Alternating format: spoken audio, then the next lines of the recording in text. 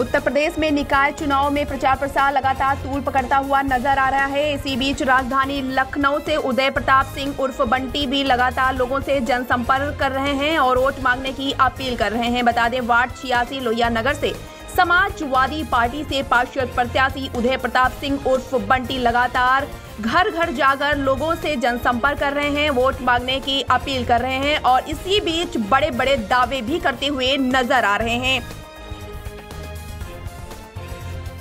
इसी दौरान कल, यानी कि गुरुवार को, उदय प्रताप सिंह उर्फ़ बंटी अपने कार्यकर्ताओं के साथ विकास नगर सेक्टर नौ, चार व एक में घर घर जाकर चुनाव प्रचार किया और लोगों से वोट मांगने की अपील की। बता दें कि उनके सहयोगी शिवम वाजपेयी, अजीत सिंह, ब्रजेश सिंह, रामचंद्र, जेपी चौहान हरे राम सुरेश यादव, अटल त्रिपाठी व सैकड़ों कार्यकर्ता मौजूद रहे।